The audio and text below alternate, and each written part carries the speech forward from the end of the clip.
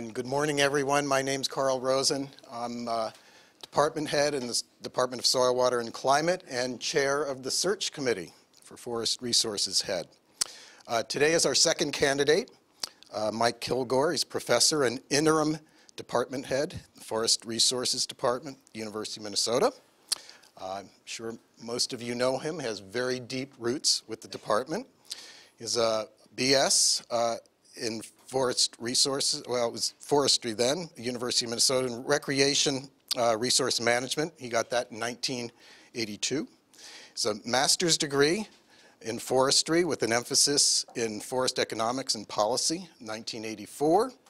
And then a PhD uh, at the University of Minnesota in forestry with an emphasis on forest resource economics and policy, and that was in 1990.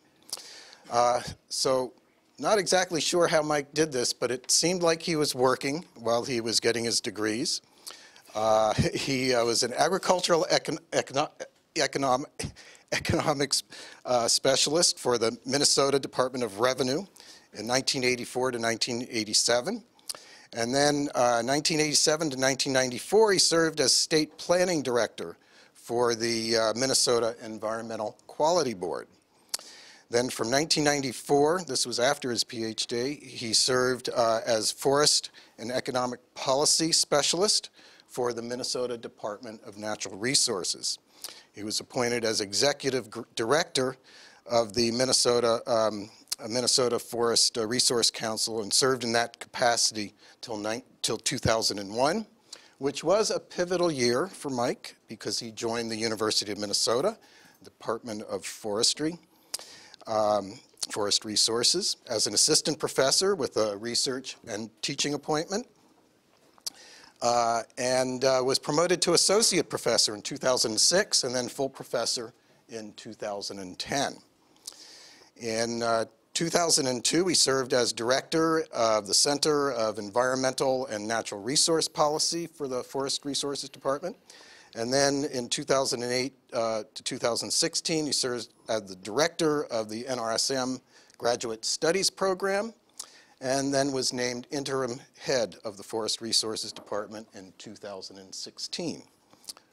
His research has focused on uh, resource sustainability with an emphasis on social and economic impacts of, for, uh, of forest and other wildland use. Um, uh, timber harvesting and forest management practices. Since joining the department, Mike has taught numerous undergraduate and graduate courses, um, most notably in the area of economics and natural resource management, forest economics, and forest policy. So with that, Mike will be giving his vision for the Department of Forest Resources. Thank you, Mike. Thank you. Welcome Mike. Oh.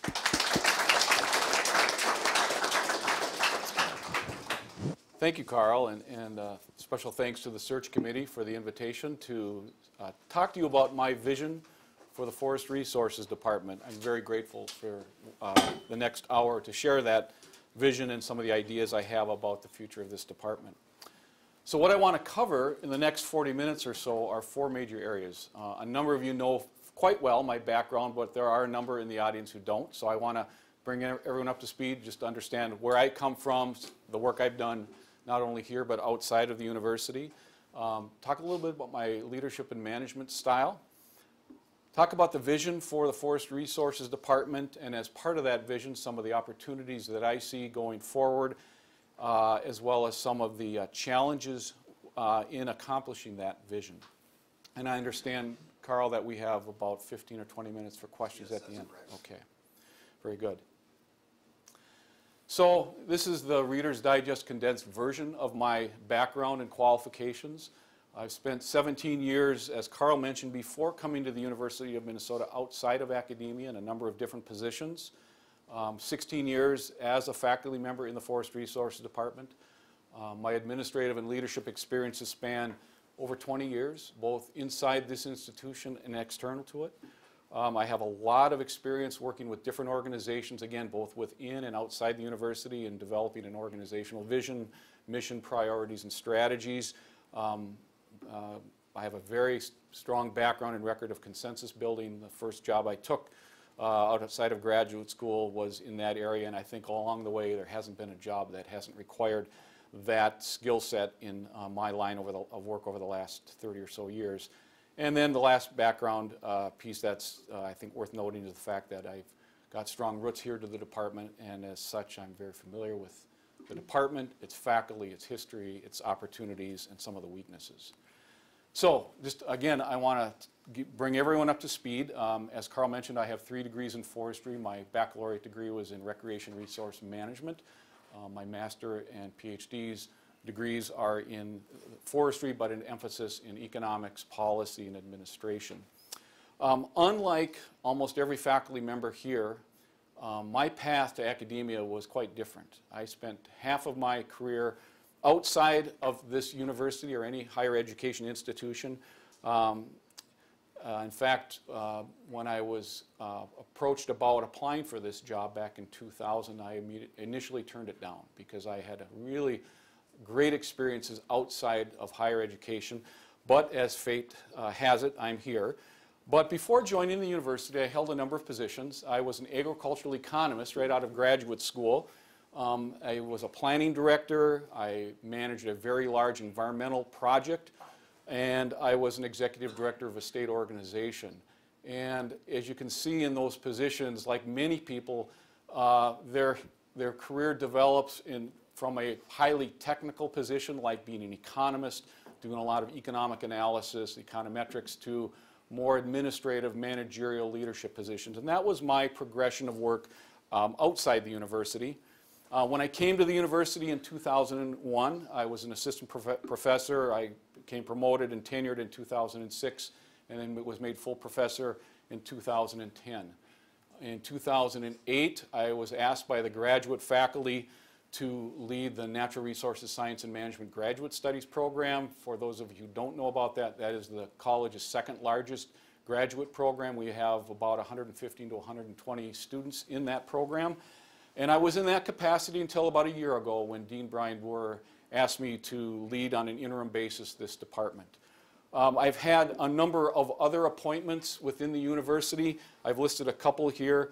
Um, from 2009 to 2016, I chaired our college's Graduate Research Policy and Review Committee, or GRPRC. And basically what that is, is it's a, a, a uh, committee of graduate study directors, and now more recently it includes some postdocs and graduate students. And it's really to develop policy um, um, and to some degree uh, financing arrangements that, that, supports our graduate education within the college. I do need to mention that um, in 2012 to 2013, I was on the committee but not, did not serve as the chair, but otherwise was the chair of that group. Um, I was also appointed to the University-wide Graduate Education Council, um, both the Provisional Council when it was first formed uh, back in 2010 and then was elected to that when it was uh, its first permanent body uh, a year and a half later. And then I served on the University Senate for three years. In terms of my research, my research focus uh, really emphasizes four areas, economics, policy, administration, and governance. And the application of those areas and those disciplines is in forest and wildlands management. If you had to summarize my research portfolio, I would describe it the way I've got it on the screen, these five major areas. A principal one has been looking at the economic efficiency questions, effectiveness questions regarding forest management. This very straightforward application of economic uh, methods and approaches to the, the management of forests and related resources. I spent a lot of time in my research looking at various economic or policy tools and evaluating their use and effectiveness. Um, similarly, I've worked with a number of colleagues on the design and the administration of programs and policies at both state and national levels. Um, I have a particular interest in value in la forest land as an asset, so I have over a quarter century of sales data for every forest land transaction in Minnesota. I've been collecting that over the last quarter century. I've worked very closely with the uh, Minnesota Land Economics. Uh, Professor Steve Taff who managed that website within the Applied Economics Department. Um, looking at also questions regarding financing of forest land acquisitions, looking at undivided interest ownerships, taxation questions, and um, um, parcelization.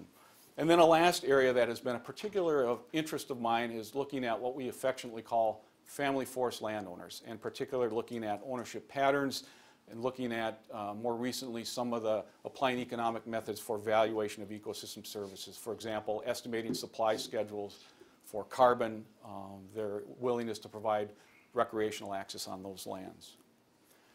In terms of my uh, uh, accomplishments in, in research, I've got 80 uh, referee journal articles that span those five areas, over 100 technical reports, a lot of presentations, um, over 50 grants, uh, and in terms of total dollars, half of those are as the PI.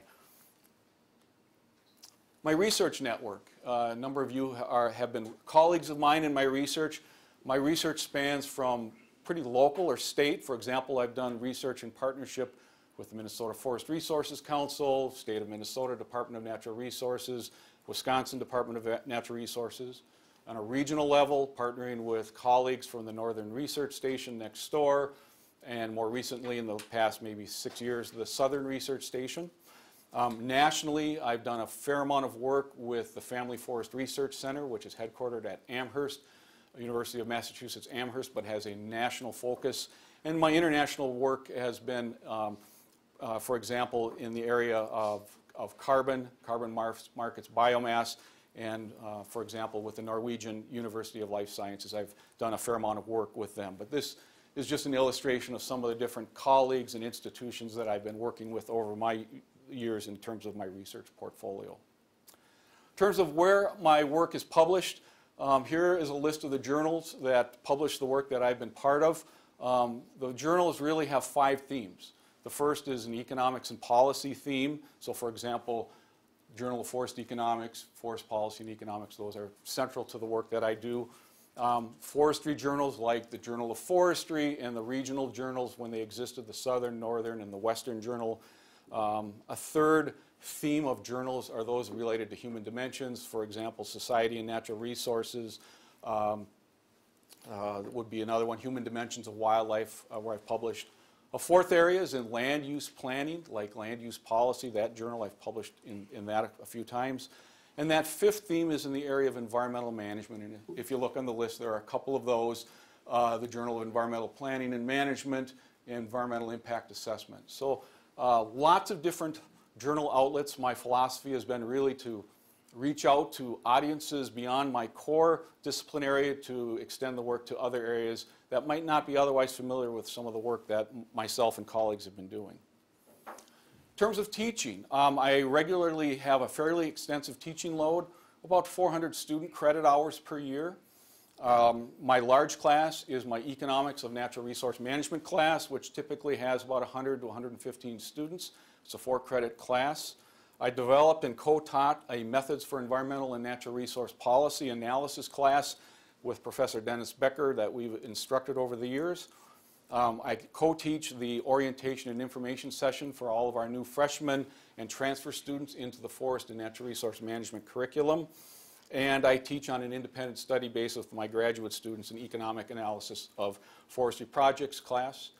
Um, I've won the Newman uh, Art of Teaching Award back in 2009, and I've participated in a number of teaching improvement programs. Back in the day, they called it the Bush Early Career Faculty Development Program. I participated in that, as well as some individualized classes in how to diversify your instruction and your curriculum. In terms of where I've taught beyond the University of Minnesota, so I, have had a number of opportunities to guest lecture around the country and elsewhere. I won't go through the list, you can read them as well as mine, but it includes a mix of both uh, domestic uh, institutions as well as those overseas. In terms of my international experience, uh, I've had international experience in research uh, uh, and consulting, teaching, and, and some in administration and program development. Um, the, on the teaching side, I was a co-instructor for a graduate class up at Umeå Sweden um, at the Faculty of Forest Sciences, and that was uh, a graduate level class in economics and planning. Um, I've done a fair amount of research. Most of my research has focused in the Scandinavian countries, as you can see. Um, I've done a fair amount of work recently with the Norwegian University of Life Sciences in the areas of biomass and forest carbon markets. Uh, I've had a number of graduate students uh, working with colleagues there in, in several projects. Um, I've worked uh, in Finland, Sweden, Norway, and Luxembourg on research related to forest certification. And then in terms of uh, our neighbor to the north, I've done a fair amount of work on certification. I was asked by the Canadian Consulate some years ago to be part of a review team to look at their forest research program. So we started in Nova Scotia and worked our way across the continent. Uh, and then I've done some consulting work on softwood lumber trade. Um, a few years ago, I was, as the director of graduate studies, I was part of a team from the University of Minnesota that went to Vienna to look at opportunities to develop a joint graduate study program between NRSM and BOKU. So I have a fair amount of international experience, and again, most of it has been focused in Western Europe. In terms of diversity and inclusion, I have a strong commitment uh, and experience with diversity and inclusion. I've listed a number of things here. I guess I want to call your attention to one that I'm quite proud of, which is one, my last year as the chair of our college's graduate education and policy research committee. Uh, one of the things that we did, and I think probably the most important and influential in my time with that committee, is develop a new fellowship program for students that are underrepresented and students of color. It was called the Graduate Opportunity Fellowship back then. I think its name has changed since then. But it's an opportunity to provide a fellowship to uh, students of color and students coming from underrepresented populations. Beyond, so I worked with our uh, Associate Dean for Research in the college to develop that fellowship program. We were amazed at the response from applicants to our program in terms of how well it was received, how strong the applications were, and the matriculation rate in that first year. And my understanding, talking to Mae Davenport and, other words, and others, is that it still continues to be a very strong program and recruiting tool within the college. Um, I also have been promoting um, within, as the interim head, through um, uh, some of the things I can do with respect to scholarships and our recruitment efforts. We're reaching out into other areas uh, for recruiting students that we may have not touched in the past as much. Um, I've done, as I mentioned, some training program. I advise a Dove Scholar, and I've been a very strong promoter of the Dove Fellowships. In fact, I would venture to guess that in my time as DGS, NRSM probably had more Dove Fellowship applications than any other graduate program. And then more recently, I've been working with uh, folks from the Fond du Lac uh, uh, Natural Resources Program and the um, Itasca Community College to identify ways to provide higher education opportunities for some of the tribal firefighters who are interested in earning a baccalaureate degree. So we're just in the um, initial stages of that discussion. Um, in terms of my leadership and service at the university, so I've been ahead of this department for the last year. Uh, I've been the chair of the department's strategic planning committee, which developed a strategic plan a couple of years ago. As I mentioned, I was the DGS. I have been the chair of our college's uh, graduate research and review committee. Um, and I've had these other activities at the university-wide level. So I've had a lot of different leadership service experiences within the university.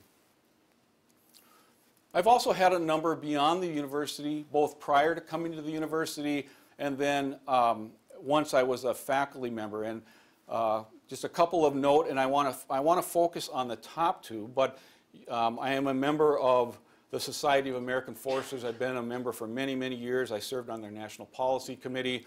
I'm a fellow of the Society, which is the highest distinction to its members. I've been an editor of a journal and um, served on, a, on a, a, number of councils. I mentioned the Guardianship Council with the Freshwater Society as an example. But I do want to highlight the top two, which is I was asked back um, about 12 years ago by Governor Pawlenty at the time to chair a Conservation Legacy Council.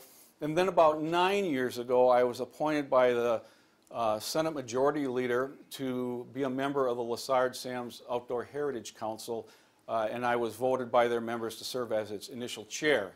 And I, and I want to highlight those two because they have some pretty similar and important characteristics. Um, number one, they were really risky initiatives. They were new. Um, they were looking at things that are not run of the mill with respect to the Conservation Legacy Council. The governor was interested in tossing up the cards and seeing how we might better organize and fund our conservation and natural resource programs within the state. So it was a very different way of thinking at how we support conservation, environmental, and natural resource management. With the Lessard-Sams Outdoor Heritage Council, it was part of the legacy funds that were uh, voted in as an amendment to the Constitution in 2008.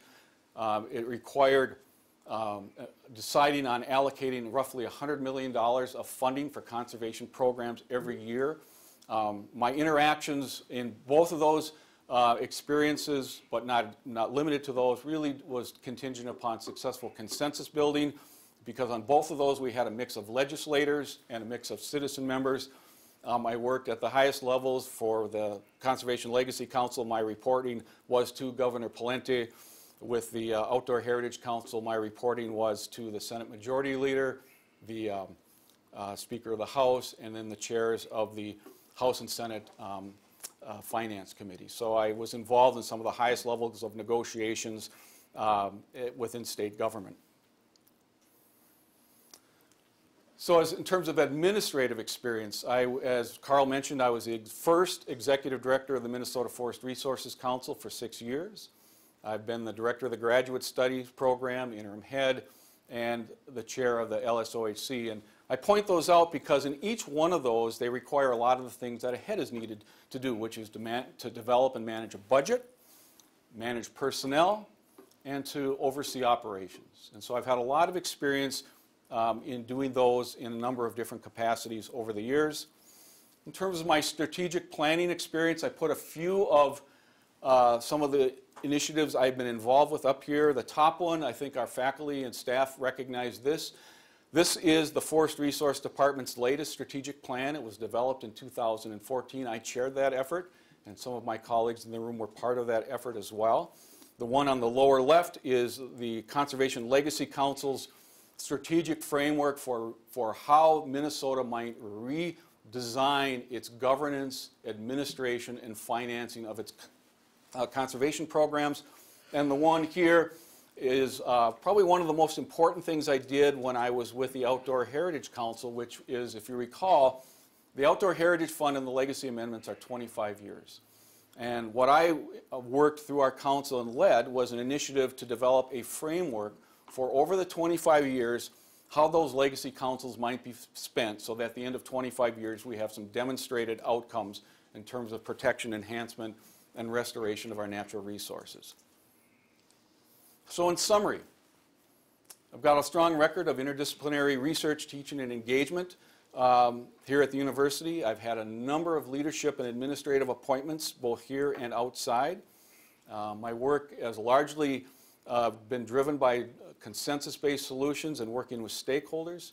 I've had a, uh, experience and a commitment to diversity and inclusion, uh, both within the classroom and outside.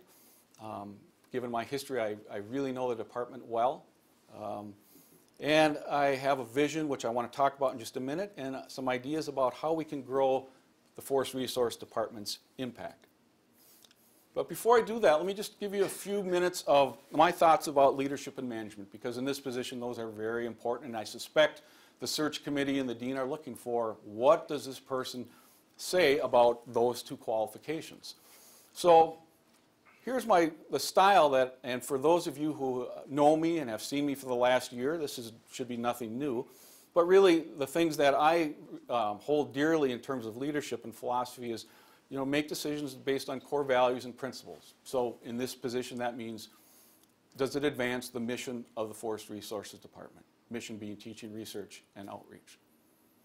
Does it put students first? I mean, those are two core principles that really I look to when any major decision is made with respect to this department.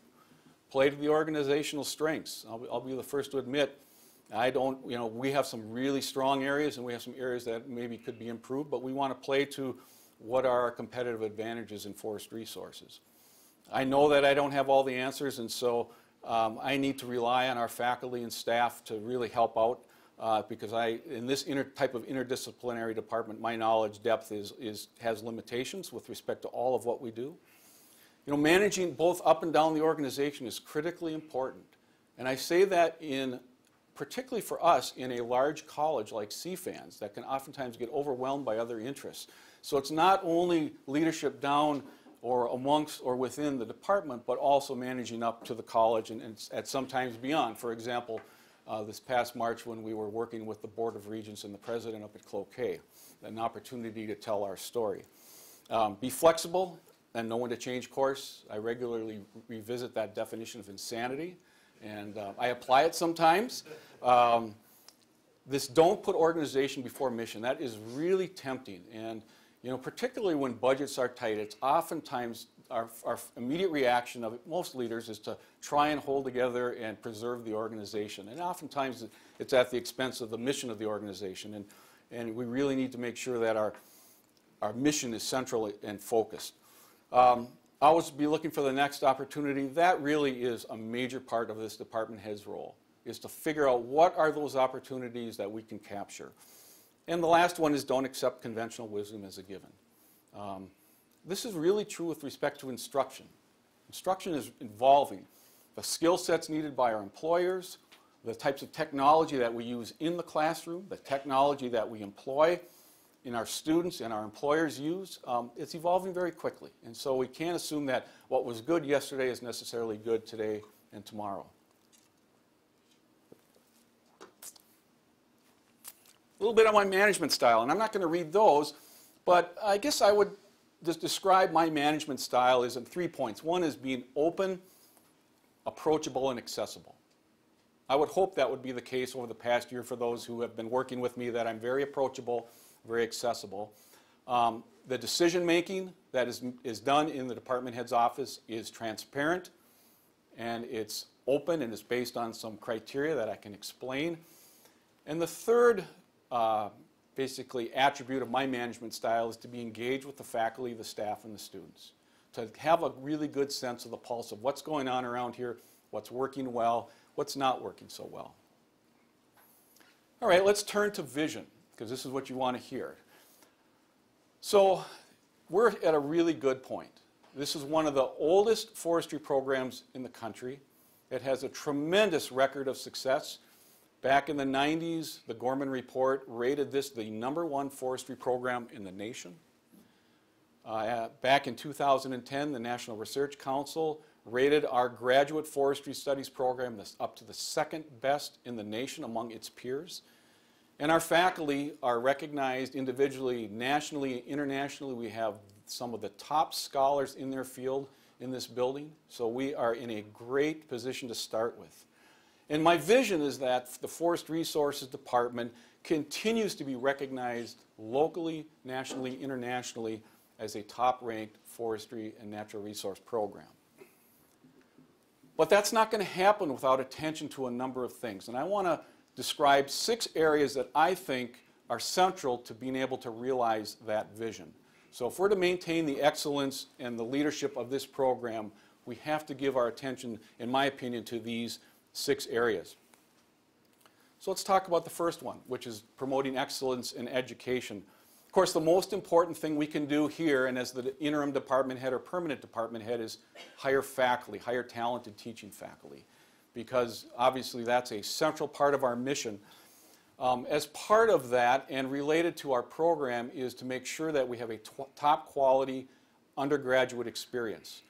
The Forest Resources uh, uh, undergraduate program, Forest and Natural Resource Management, has been accredited continuously since accreditation began by the Society of American Foresters 1935. We're up for accreditation review this fall. Uh, in mid-September, I'm very confident we have all the documentation prepared, and I'm very confident we'll have a very good review. There'll be some things pointed out that need to be uh, bolstered, and I suspect um, many of you know what those are, and I'll talk about some of those in just a minute. But overall, we have an outstanding program, and I'm very confident in terms of the reaccreditation. But that is a very important part of um, our work over the next year. Ensuring that our students are getting the training needs um, that our employers are looking for is important, very important. Laura Nelson, who's not here today, um, she'll be doing a, we're going to be employing a survey to get a better pulse of what those training needs are and how they're evolving. Um, another strategy is to make sure we're, we're staying on top in terms of the technology we use in instruction. Now, whether that's instruct, uh, technology like Moodle or offering new coursework that's related to the field. For example, we're going to be developing, we're developing and we're going to be deploying, Joe's going to be deploying a new course this fall. It'll be the first one on campus dealing with unmanned aircraft systems. So new technologies and how they can be used in the field of forestry and natural resource management. And the last strategy is, and this is really important to me, is we don't want to compromise on our field-based instruction. Our field-based instruction is what sets us apart. Historically, that's what it's been at our roots. Our undergraduate students are required to attend two field sessions, one in August and then an advanced session in May. Um, and I want to make sure that as our program evolves, we don't lose sight of the fact that what sets our program apart from so many is the training we give our students in the field. Right now, our, our enrollment is growing, and it's growing fast. Year to year, our undergraduate enrollment in the Forest and Natural Resource Management curriculum has increased 30%. And get, I just received the latest numbers from Laura. We're over 80 students now for fall that uh, will be in the program. My goal is that we will be able to reach 100 students in the FNRM curriculum by 2020. I think that's a very realistic goal, and we've been doing a number of recruiting um, and outreach strategies that are helping us achieve that goal. Um, as part of the accreditation process, we did a survey of our recent graduates. Um, what we're finding is that our students are getting jobs. They're getting jobs in the area they, want, they like, and they have high levels of satisfaction with their employment. We want to make sure that continues. And we want to make sure that our programs are continually recognized as a top flight forestry program in the country. Now, I haven't mentioned anything about the, uh, the Environmental Science Policy and Management Program. That is another major program within the department that our college has a major role in instruction. The curriculum is coordinated by our faculty. Our faculty teach the majority of the courses in the ESPM curriculum. Uh, there are a number of, it's one of the largest uh, undergraduate programs in the college, and there are some things there that uh, are changing. We're, we're, we're, we're readjusting some of our areas of emphasis, or what we call tracks. There is an issue that I want to work on, and I want to work on with other department heads in the college, and that is um, finding, giving our students in that curriculum, because it is an interdisciplinary curriculum, a better sense of place. And I hear regularly, and as I suspect many of our fa faculty do, that it's not tied to a department home. It's a college level curriculum. And I want to make sure that our students feel like they're better connected with a department so that they have a more enjoyable, rewarding experience when they're here at the university. A second area is dealing with science. And again, just like in the area of instruction, teaching, we want to hire the best and the brightest scholars. I think we are incredibly blessed with the scholarship that we have here at, in Forest Resources now. Um, question was raised earlier this morning in the search committee about our interdisciplinary science and your views on it. Well, we are an interdisciplinary program. I am the one and only economist in the department. It would be a luxury to have more than two individuals in any one given discipline, so we are truly interdisciplinary. If you look at our undergraduate curriculum in the FNRM program, ESPM, our graduate program in NRSM, those are truly interdisciplinary programs. We want to continue to promote that.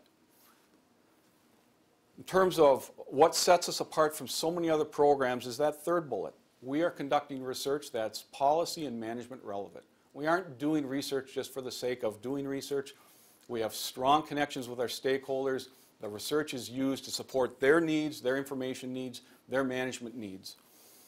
And one, another very important strategy is to make sure that we're operating with state-of-the-art research facilities, notably the Cloquet Forestry Center and the Hubachek Wilderness Research Center.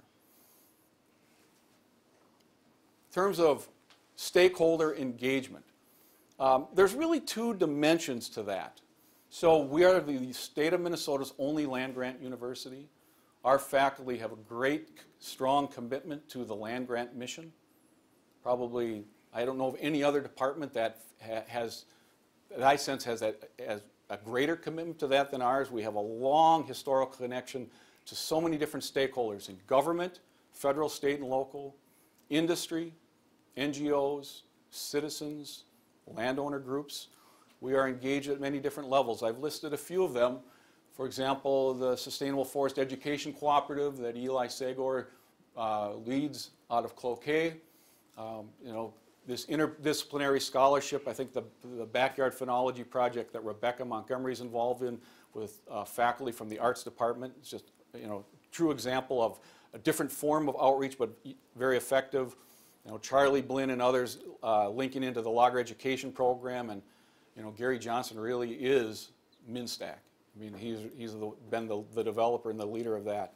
And we want to make sure we continue that important outreach mission and connecting with our stakeholders. Uh, one of the things we did this past December as faculty is we did a stakeholder mapping exercise collectively. And you would be amazed at the breadth of connections our individual faculty have. Um, it, it, it blew me away when I looked at the list and, and uh, saw there were stakeholder connections there that I had no idea existed. And I would, as a department head, rely on some of those faculty to help me make uh, additional connections in those areas. The second part that stakeholder uh, connections are important deals simply with our ability to grow. Our, call, our Department of Forest Resources, um, I would say, probably has great order. As I've talked to other department faculty and heads around the country of our type, I don't know of anyone that can say they have greater and deeper and more historic connections to our stakeholders than the Forest Resources Department. And, and that's important because when, it's, when there's a need for growing the program, whether it be an upgrade at the Cloquet Forestry Center or helping out with an initiative, the fact that we have developed and maintained those really deep connections with so many different stakeholders has really provided uh, support when it's needed to help grow our program within the University of Minnesota. In terms of another very important component of realizing our vision is making sure that we have a welcoming and inclusive environment. A number of strategies that I've listed here. We need to continue the work that has been done, and there is a lot of work going on uh, within our faculty to reach out to other communities, and it's really at two levels. You know, we have indigenous populations, we have a number of our faculty that are working with uh, tribes or bands, uh, we have faculty that are working individually one-on-one um, with a number of different uh, underrepresented populations. A number of us have been uh, taking um, education and training courses to incorporate different perspectives in instruction and outreach. So I'll give you an example for me, in addition to some of the training. Um, as I mentioned earlier, I co-teach the orientation class for forest and natural resource management majors. And I brought into the class, as part of the curriculum, um, a conservation officer from the Department of Natural Resources uh, who is uh, Hmong, and have that individual just talk about how that community views management and use of natural resources. And I will tell you, it is incredibly an eye-opening experience, and the first time I heard it to me as well, but to our students who just had no idea that these perspectives on natural resources could be so divergent.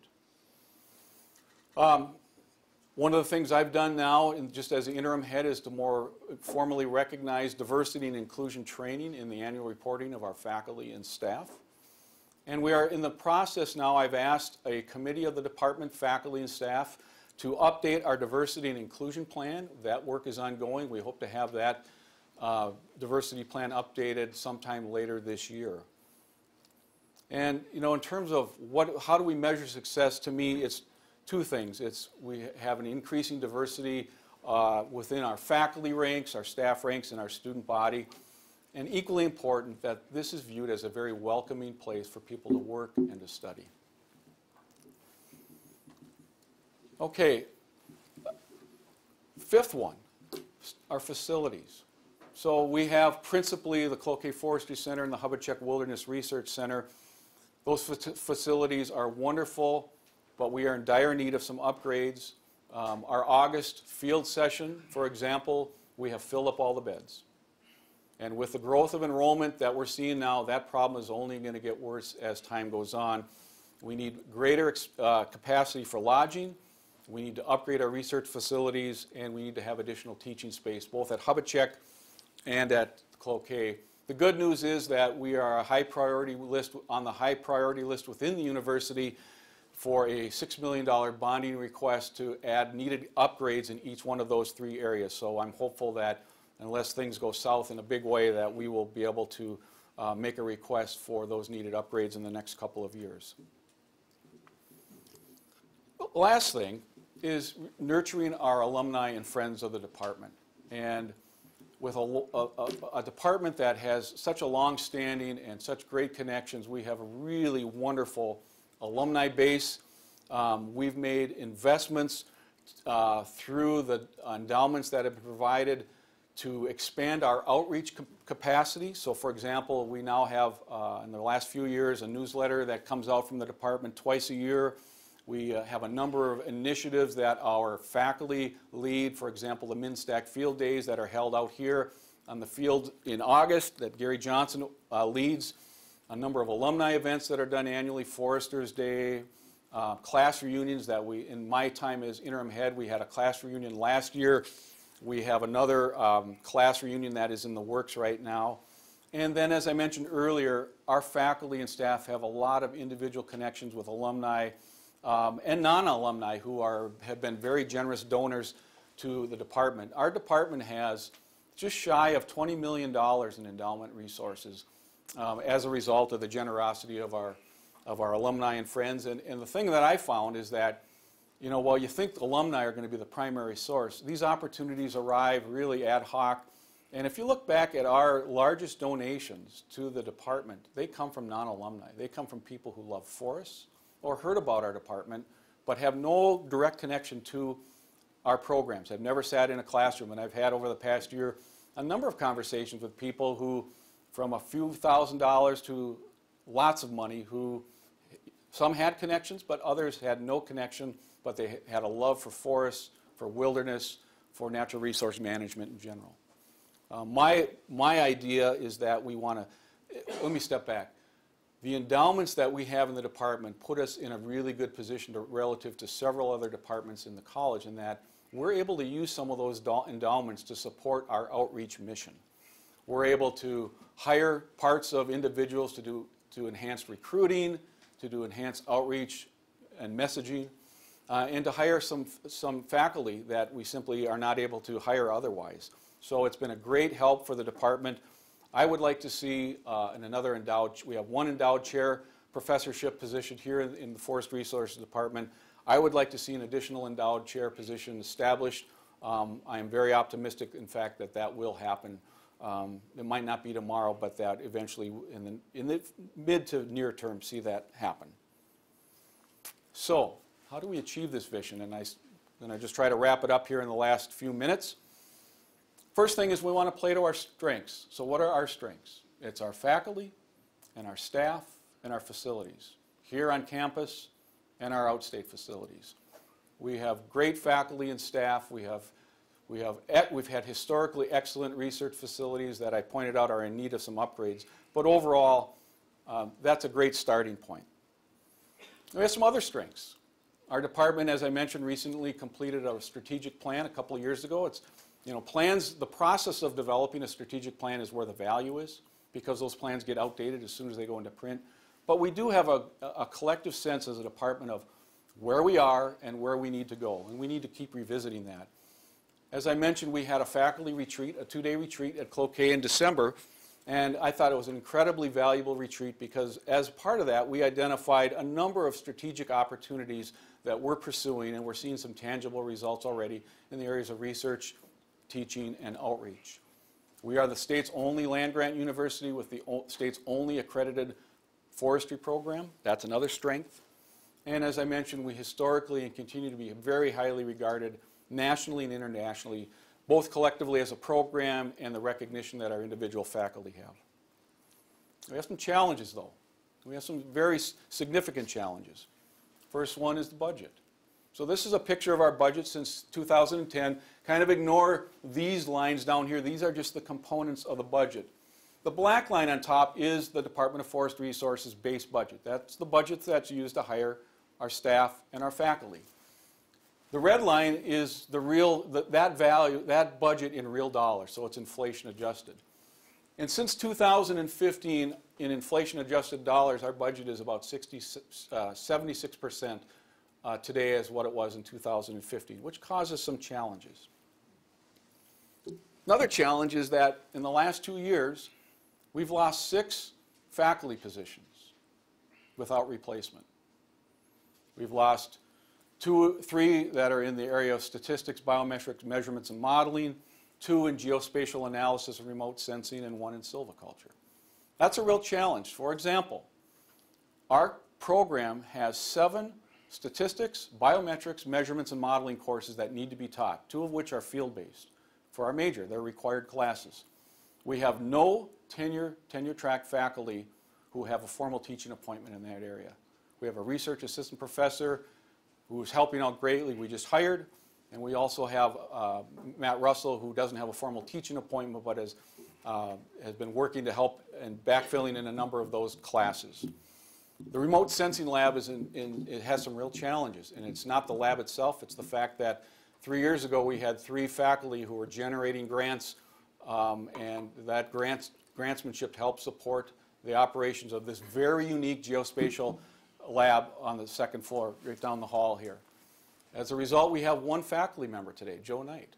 And it's, and it's challenging to maintain and support that center with one faculty per- person, particularly in light of the evolution of technology in remote sensing geospatial analysis. We need additional capacity in that area. We have some other challenges.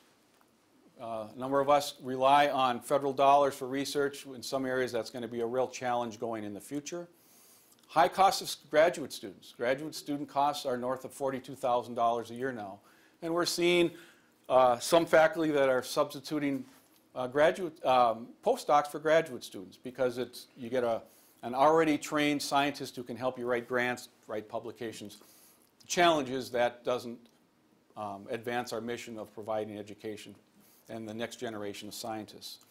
Um, it's, it's really challenging to compete for the best graduate students in any program. NRSM is included in that. We have a lot of our grants come from state agencies that don't provide ICR or the federal government that provides no ICR. While they're important because they support our graduate students, um, we don't have a lot of the costs that are needed to support our operations covered by those grants. And the last one relates to an earlier comment about the importance of managing up, is maintaining visibility of this program in a large college with 11 departments. But just in closing, you know, in spite of those challenges, um, particularly the budget and the lost faculty capacity, I'm really optimistic about the future of the department. We are top notch. Our faculty are, and staff are overachievers, no doubt. I mean, I look at the numbers. We just got our instructional uh, information for the past year, our student credit hours. I mean, if you look at per faculty member, our, fac our department faculty teach as much or more than any other department on a per capita basis.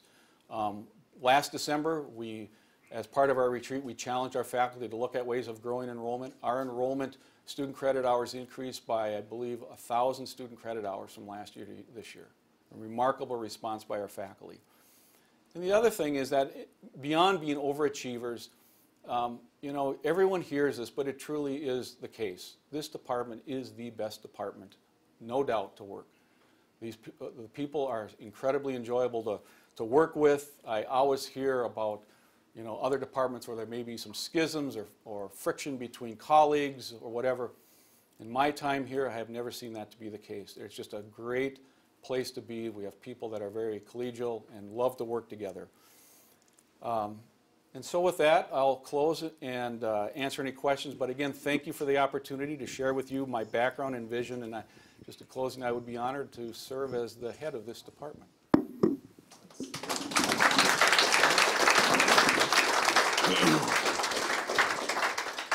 So um, if there are any questions, um, I will be running the mic around, opening it up.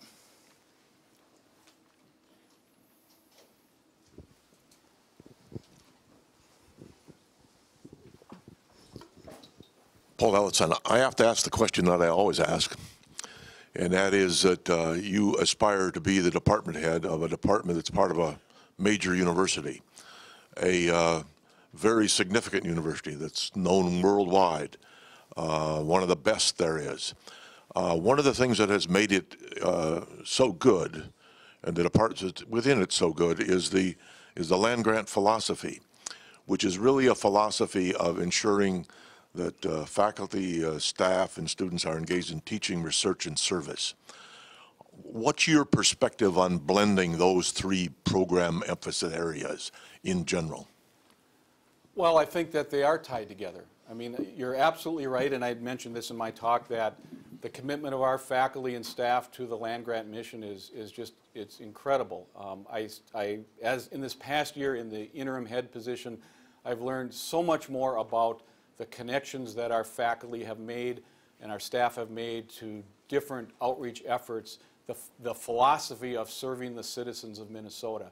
And I don't see those as necessarily discrete teaching, research, and outreach missions. For example, you look at the classroom and you look at, uh, it's, it's, it's just commonplace that our instruction brings a lot of guest lectures, visiting people, connections that our scholars have made with people, not only in Minnesota, but around the world. Um, bringing in, for example, people from the Department of Natural Resources, the U.S. Forest Service, or the National Park Service.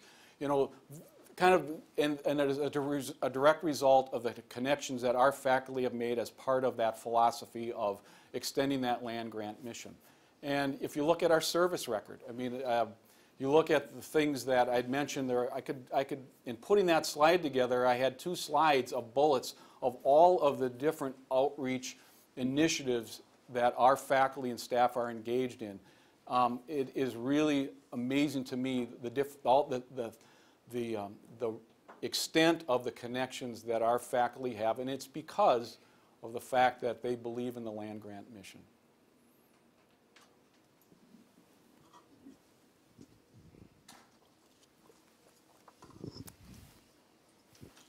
Any other, any questions online? Question? Making me run around now. So, Mike, you've been handling this job for a year. Uh, What surprised you the most as you have uh, walked through for a year uh, the machinations that one faces in that role?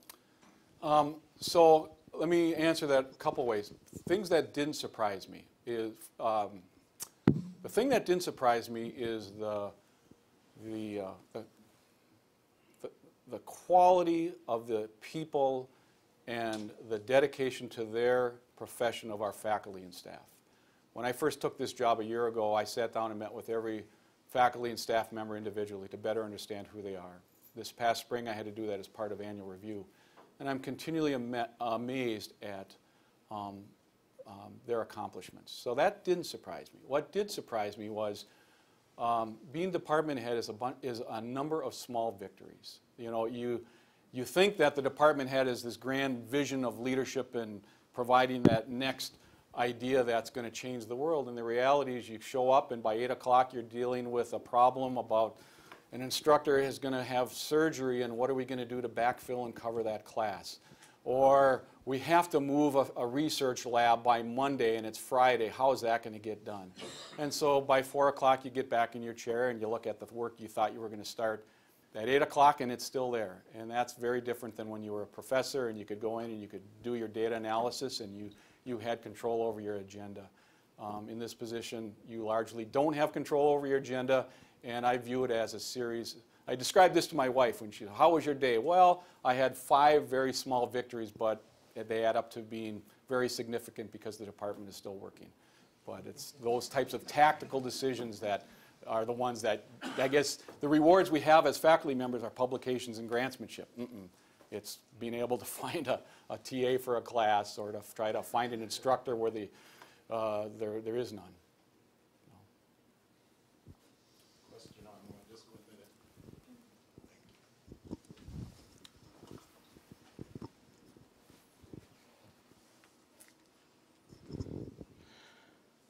Thank you for this talk this morning. This is Mike Dockry from the U.S. Forest Service. I appreciate your ideas in, about diversity and inclusion. How do you envision engaging the tribes across the state?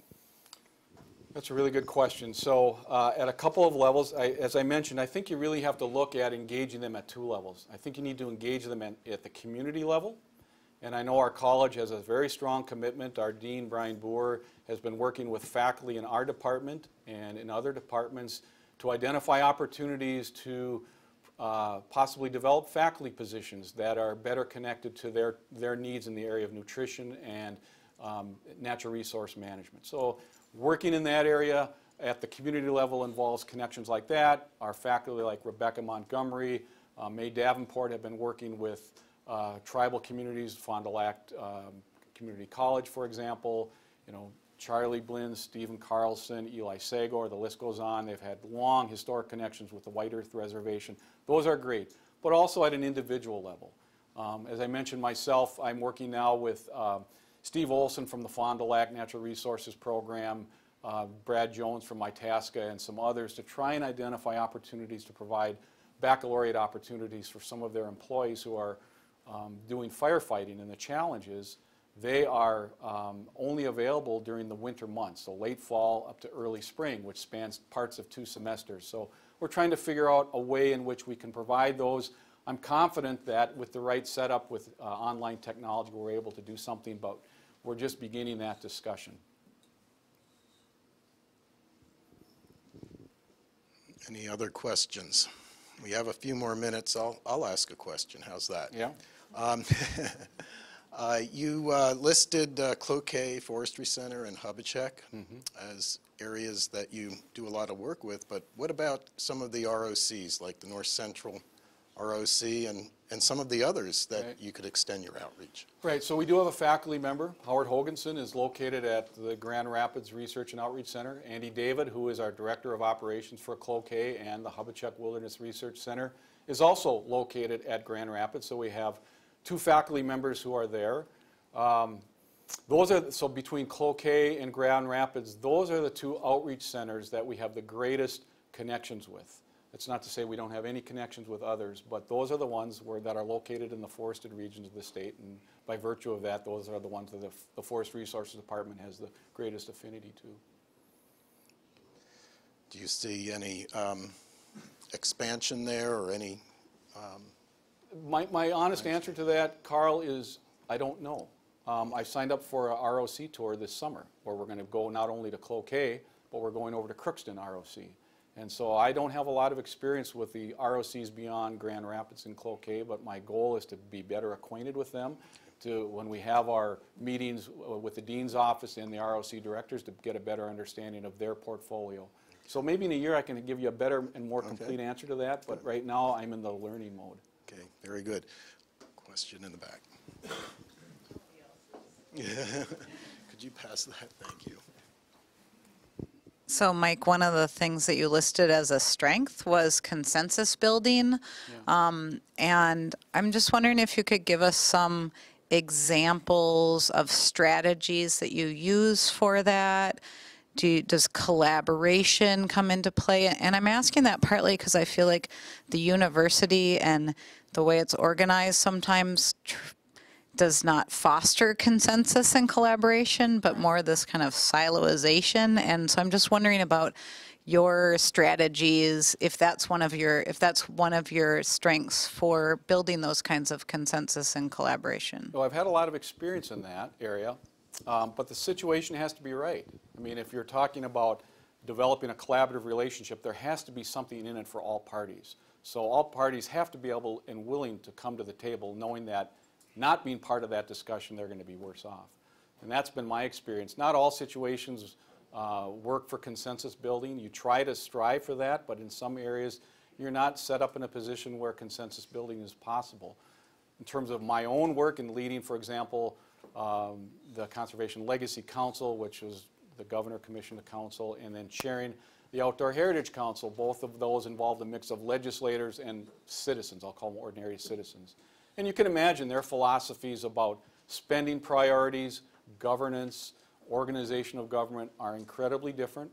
Uh, legislators have caucuses that they work with, and so they have very different agendas. And as the chair, um, you know, a big part of my time was basically maintaining that open dialogue and communication with different members individually of each of those councils. Because that's the way when, when, when you foster that openness and discussion and being able to hear other points of view and having others hear points of view, at least you have a better chance as, at consensus building. And in both of those instances, all the members, and I had to reinforce this, the power of their work was dependent upon developing consensus solutions. Because if we didn't, In one case, the legislature would make up their own mind, which we didn't want. In the other case, the governor would have said, thanks, but no thanks. So, I mean, there had to be an incentive to come to the table, and there was in both cases, but it required a lot of late-night conversations with individual members to try and maintain that open dialogue.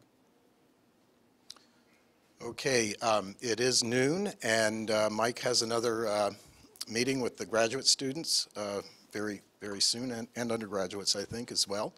So let's thank Mike for uh, the seminar.